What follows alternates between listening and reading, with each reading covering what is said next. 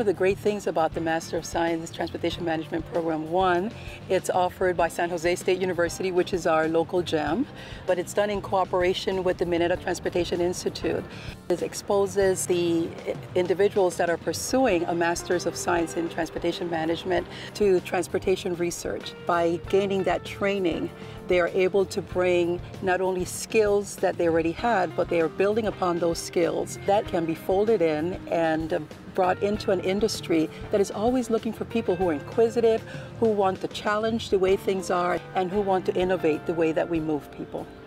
I was able to apply the knowledge and the skills in right away in my job, in the project management, in uh, finance, in marketing, all of those fields were covered in different classes.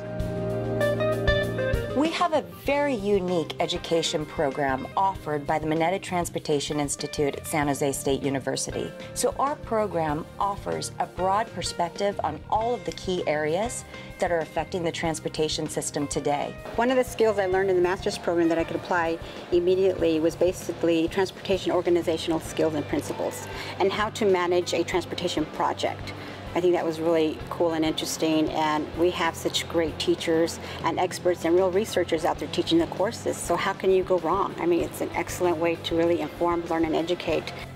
The person who can benefit from an MSTM program right now is at that mid-level in their agency or uh, company and uh, with the MSTM program it really exposes them to the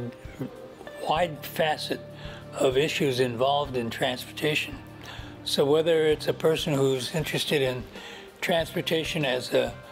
public sector program or in the private sector as a shipping executive or as a, an executive of a trucking company or airline, again, uh, the MSTM program will allow them to climb up that ladder in the